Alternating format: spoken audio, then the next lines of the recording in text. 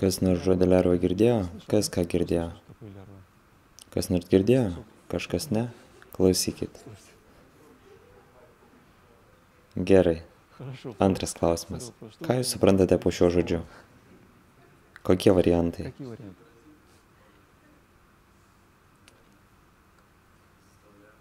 Verčia daryti. Verčia valdyti valdo. Galima pasakyti, tai ne parazitai, o būtent šeimininkai šio pasaulio, tarnai šio pasaulio šeimininko. Tai subtilius būtybės, kurios nuima žmonių gyvybinę energiją nuo šios planetos gyventojų. Tai jų darbas. Jie nuiminėja nuo tų, pas kuriuos yra skola. Kam priklauso? Taip. Todėl sakyti, kad jie blogi, beprasmiška. Nes taip pat sakyti, kad va, kaip gripo virusas, kuris ateina būtent pas kažką į svečius tam, kad kažką pakankinti. Galvojate atsitiktinai? Jokių būdų. Galima turbūt parekomenduoti tiem, kas iš jūsų nežiūrėjote pirmas minutės filmo Matricos. Yra toks filmas, maždaug 2000 metais išleistas, ten pačiomis pirmomis minutėmis, kur pagrindinis herojus Neo atranda savyje, arba kaip kamera rodo, kad žmogus guli kažkokioje masėje, visas prijungtas kažkokiais vamsdeliais ir jis nustoja atlikti energobaterijos funkcijas ir jį išplauna. Vamsdelius ištraukia ir jį tiesiog kanalizacija nuplauna taip, jūs nepatikėsite, bet tai realybė. Kiekvienas iš jūsų, jis šiek tiek tokia baterija subtiliam planui ir subtilus planas gyvena dėka jūsų. Ir joga leidžia, kodėl mes jogai apie tai kalbame. Joga leidžia žmogui atsiskirti nuo tų parazitų, kurie įsiurbia. Galima sakyti pagal karmą, siurbė žinoma, tačiau joga ir leidžia pašalinti tuos lervų čiuptuvus, kurie siurbia jūsų energiją. Pagal raštus, pavyzdžiui, Padmasambhava 1700 metų atgal jis duodavo savo mokiniams tam tikras pranašystės. Jis sakė, kad ateis tokia epocha, kai už kiekvieną žmogų bus keletas, na, ne lervų jis pasakė, bet turėjo būtent tai mintyje, keletą lervų, kurios valdys žmogų. Vat mes dabar pergyvename būtent tokį laiką. Kaip nustatyti, ar pas jūs yra lerva ar ne, labai paprasta. Užrašykite nuoširdžiai ant popieriaus, ką jūs mylite ir ko negalite atsisakyti. Pas mane įprotis toks, įprotis toks, įprotis toks, įprotis toks. Surašykite visus įpročius. Antrame stulpelėje parašykite, nuo ko galite atsisakyti. Negalvokite, o realiai. Nes narkomanas irgi sako, aš lengvai mesiu narkotikus, ten cigaretės, tai niekas. Kokia vodka, aš vodką mesiu tiesiog taip. Jie sako taip. Tačiau ar jie gali tai padaryti? Tas pats ir čia. Pažiūrėkite, kokius įnorius aistras turite ir nuo ko galite atsisakyti. Jeigu nuo kažko negalite atsisakyti, jeigu tie troškimai stipresni už jūs, vadinasi, lerva jūs siurbia. Dėl to įpročio. Suprantama. Pas kiekvieną įprastą žmogų troškimai įnoriai yra. Kodėl aš taip tvirtinu? Nes jūs gyvenate sociume, jūs socialinis žmogus. Jeigu jūs gyventumėte atsiprašant gamtoje, teko gyvenvietėje kažkur, kur jokios civilizacijos nėra, jūs gyvenate ten natūraliu būdu, natūrali gamta, švarus oras, jūs užsiiminėjate kažkokiu darbu, tai ten lervai nuo jūsų nėra ko gauti. O čia? Čia jų megapolis. Lervas neišgyvena gamtoje, jom ten labai sudėtinga. Jom ten labai blogai. Joms visada reikalingos aukos, kurias siurbti. Nes pas jas tokios struktūros, nes jom reikia, kad jų aukos būtų vienoje vietoje, todėl dėl jų daromas toks nervelis, tai vadinama būtai, daugiabučiai, žinote. Iš tiesų tie būtai yra, žinote, nenoriu netgi laužyti jūsų visos koncepcijos. Ten gyvena lervos, kurios maitinasi tais, kurie atneša savo gyvybinę energiją.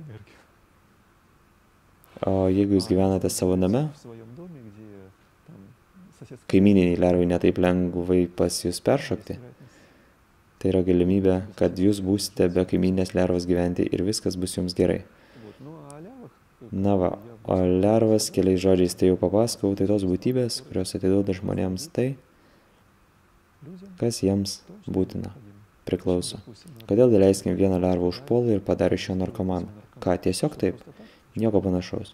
Tik todėl, kad pas tą žmogų yra skola ir jis kažkada praeityje tai darė kitiems ir dabar jam tai grįžta. Ir beprasmiška kalbėti, kad lervos tai blogai. Jos tiesiog atpildo instrumentas.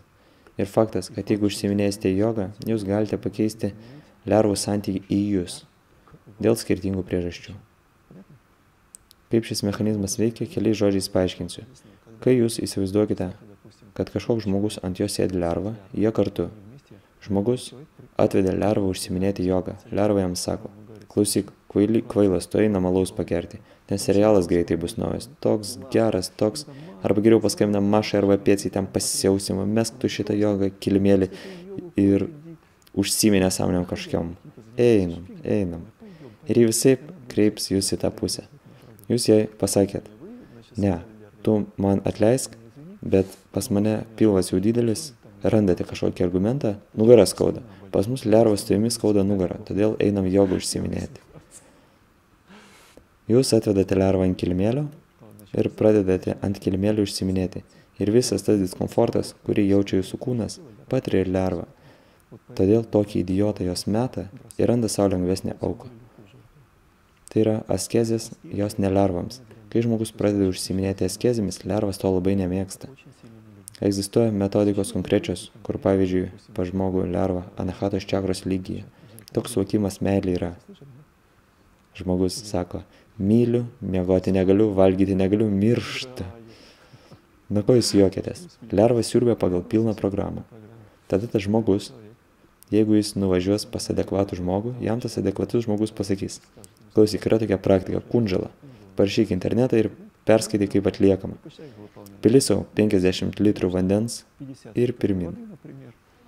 Kaip ranka nuima. Žinoma, pabandykite.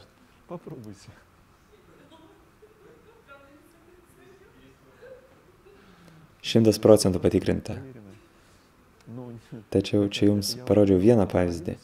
Tiesiog didelį kiekį vandens reikia daryti. Jeigu paskaitysite apie kundžalą, ten bus parašyta 1-2 litras šilto vandens. Bet čia tam, kad tik pažadinti, kad jis stipriau pradėtų veikti, o kad pašalinti pilnai reikalingas didelis kiekis vandens. Kiek žinau, rekordas iš mano pažįstamų žmogus galėjo 50 litrų įvesti ir išvesti pirmin atgal. Suprantamai kalbu. Dariau tai su Šankprakšalana. Taip, bet anahatos lygyje. Kas liečia Šanka Prakšalaną, tai prastai Svathistaną čakrai valo. Yra tokia nuomonė ir kaip rodo patirtis, tai veikia. Didelis kiekis. Pavyzdžiui, kai žmogus atsiskiria kažkur ir neleidžia lervai tenkintis tuo, ko jį nori. Ir pavyzdžiui, senovėje, iki dabar Tibete, jeigu kažkoks žmogus nori išsilaisvinti nuo įnorių ir troškimų įstrų, žinote, ką daro? Neatspėsite niekaip. Taip, į olą uždaro. Uždeda akmenimis taip, kad jis negalėtų pabėgti, kad lerva neduotų pabėgti. Tiesiog nedidelį langelį palieka, jį maitina, kol lerva nepabėga. Jokauju. Iš tiesų, tai ne tik lervams. Tai labiau daroma dėl tų žmonių, kurie nori pažiūrėti į save. Tai yra susitikti savyje su savimi pačiu. Tam tai ir daroma. O vat Kaukazė išsisaugojo delmenai. Girdėjote? Tokie statiniai didžiuliai, kur dideliu akmeniu, na, užlenda žmogus į dolmeną, duoda jam maisto, uždaro jį su akmeniu ir sėdi žmogus dėl dviejų priežasčių. Pirma, kad išsilaisvintų nuo lervų, tai yra, kad troškimai ir įnoriai paliktų, o antra priežastis, kad susitiktų su savimi. Tai yra arba gydyti, arba vystyti. Tačiau metodika praktiškai viena ir ta pati. Tiksliau ne, atleiskite. Kas liečia gydyti, tai tik nieko neveikimas. Tu netgi nieko neveiks, lerva paliks tave. Svarbu, kad tave uždarytų. Antra metodika. Jeigu žmogus sukopia daug informacijos apie save ir žino būdą, kaip įeiti į save, tai tyloje jis gali įeiti į save.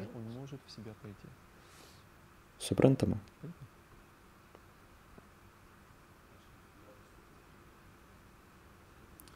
Taip, yra tokia koncepcija, kad jos iš tiesų dauginasi. Tai yra, kuo daugiau žmogus generuoja iš savęs troškimų ir aistrų, įnorių, tuo labiau jie įgauna materialią formą. Tačiau ne iš materijos formos, o iš energijos. Tai yra pats žmogus gamina tuos, kas jį naikins. Galimai, jeigu pa žmogų tas, kuris sukūrė tą lervą, tas troškimas, noras, lerva jis norėjo, troško, paskui jau troško taip, kad jau net nebenori, jį pradeda kankinti. Jeigu jis pakeičia savo santykį, tai palaipsniui ta lerva galimai išnyks. Kur energija nukreipsta? Greičiausiai yra kažkoks egregoras, kuris tai siurbia. Tai ir vadinasi mara. Greičiausiai tai ir yra tas, kuris valdo troškimus, norus ir aistras, tas, kuris renka visą gyvybinę energiją iš tų, kurie vis geidžia kažko.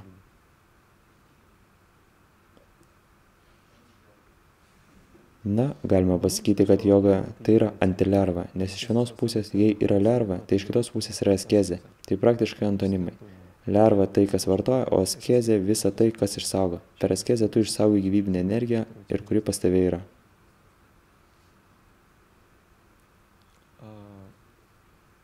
kuri, na va, o ką jie darys? Jie tave nejaugi saugos? Ar tu įsivaizduok? Tu nori, kad prie taurelės tempi ranką, o tau per ranką kaip duos, netemp ten. Greičiau lerva tave stūmus, kad paimk. Ne, galimai yra tam tikros jėgos, kurios tave stabys kažkame. Tačiau greičiausiai krikščionybėje tokius žmonės vadina angelais sargais, ne žmonės, o dvasias, kurios neva tave nuo kažko apsaugos. Tačiau dalykas tame, kaip rodo mano patirtis, kaip literatūros skaitimo patirtis rodo, šis pasaulis jis iš tiesų tobulas. Tai žinoma, teisingai mane suvokite. Jis tobulas iš tos požiūrio pusės, kad jis savo netobulumu yra pakaitalas to, link ko tu pats kažkada ėjai. Tai yra, jeigu tu kažko norėjai, kažko tobulo, tai šis šio pasaulio netobulumas skaitomas kita medalio pusė. Tiesiog kitaip vystimasis bus nepilnavertis. Jeigu žmogus bus tik baltas, baltas, baltas, kartais žmogus, kad kaip pasakyti, kad pajaustų gyvenimo skonį, jį reikia nuleisti žemyn kad jis vertintų tai, kas balta, grubiai sakau. Tačiau esmė tame, kad šis pasaulis iš tiesų toks, koks yra būtinas. Čia nėra nieko to, kas, kaip pasakyti, būtų tiesiog taip, arba atsitiktinai, arba ne pagal nuopelnus. Šimtas procentų viskas pagal nuopelnus atpildas taip, teisinga šimtas procentų. Tas senovinis posakis kiekvienam savo būtent ir paaiškina, kad kiekvienas priklausomai nuo išsivystymo lygio sieks to, kas jam būtinai reikalinga. Tačiau jogos sistema tai maksimaliai adekvati struktūra, kuri leidžia pagal etapus žmogui vystytis nuo paprasto iki sudėtingo ir po truputį tapti savo šeimininku, kad jo niekas nesiurptų. Tai tai, ką pats dėl savo kvilumo sugeneravo. Gerai, draugai. Kokie nors dar klausimai yra?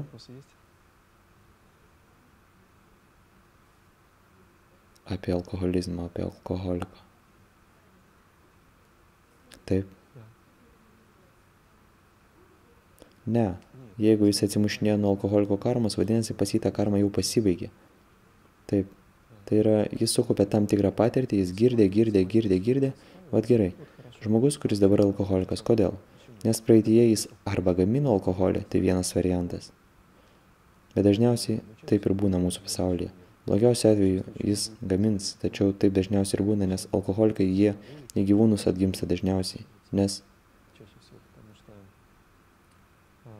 negilinsiu į detalės, kodėl.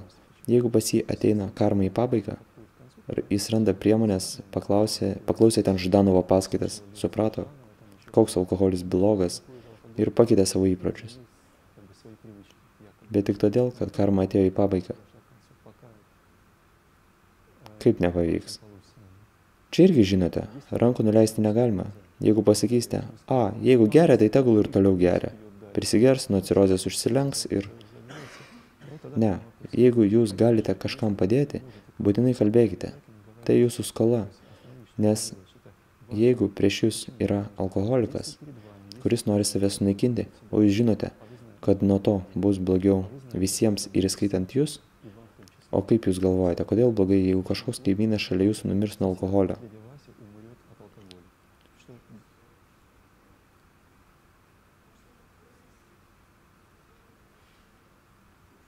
Tai buvo jūsų egzaminas. Kaimynas alkoholikas, kuris gėrė ir kuriam jūs nenorėjot rankos duoti. Aš čia šaržuoju. Tai jūsų egzaminas, kurį jums reikėjo išlaikyti. Ant kiek jūs neabejingi aplinkiniam pasauliui. Jeigu jūs abejingi, tegul užsilenkia. Tai taip pat ir jūs reaguos. Va ta koncepcija. Daryk kitam tai, ką norėtum, kad tau darytų. Jeigu tu nuo kažko kentiesi, jeigu tu nenori, kad tau būtų išreikštas abejingumas, tada ir tu neišreikšk abejingumą. Įsimaišyk, tai bus veiksmas, kuris tau ir grįž, aišku. Tai yra, jeigu pas jūs bus kažkokia problema, kažkas įsimaišys jūsų problemą ir padės jums ją išlaikyti, aišku. Gerai, draugai, mums reikia padaryti pertrauką ir pas mus bus po 15 minučių praktika, taip? Taip, žinoma.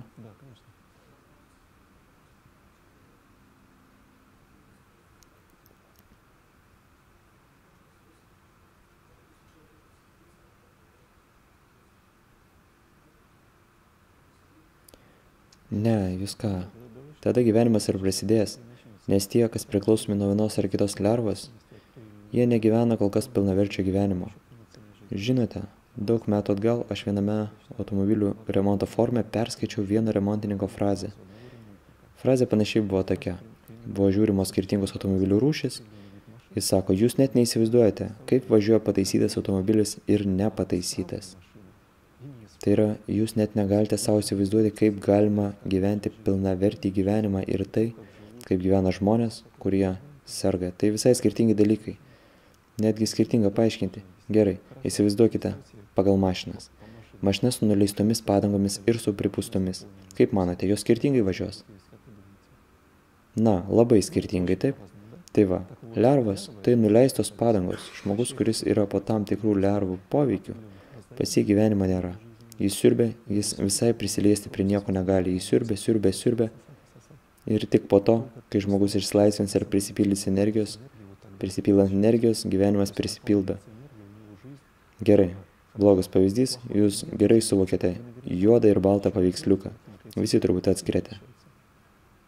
Suprantama. Vat būtent taip, gyvenimas pagal lervų atpildą ir gyvenimas pilnas kūrybos – faktas kad jūs galite gyventi ir kurti. Todėl bijoti to, kad lerva užšoks, aš susirksiu ir numirsiu, tai nerimta.